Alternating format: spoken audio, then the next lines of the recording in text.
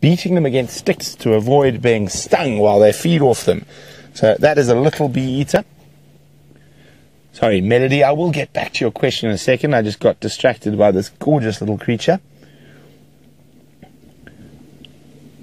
And they often perch like that uh, in quite open areas. And you will watch.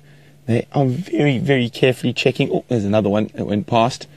Uh, for any flying insects. So most of their feeding is done, or their catching is done on the wing rather than leaping to something on the ground. So they're incredibly agile. There we go. We'll let the little bee eater continue its perch.